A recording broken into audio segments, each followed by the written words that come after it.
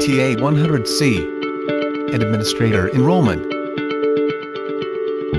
To enroll an administrator, press MOK button. Select User Management and press MOK button. Select New User and press MOK button. Assign user ID 1, 2, 3, 4 by pressing the keypad button. Press down two times to user role column. Press MOK to change to super admin.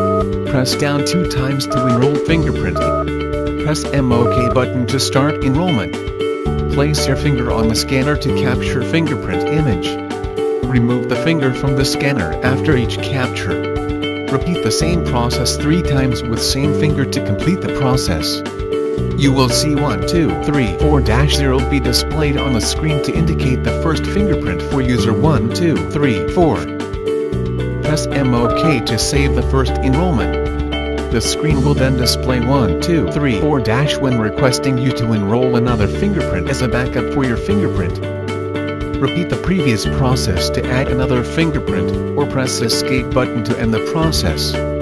When process is completed, the screen will return to the main page and you will see fingerprint number equal to, indicating that user 1, 2, 3, 4 has been enrolled with two fingerprints. Move to OK column and press the MOK button to save the settings. Press the MOK button to confirm. Now press escape button three times to return to the main menu. Once you have enrolled the administrator into the system, normal users can no longer gain access into the system by pressing the menu button. To gain access into the system, press menu, and screen will display admin affirm, which requires the administrator fingerprint. Once administrator fingerprint is presented, you can gain access into the system to perform configuration.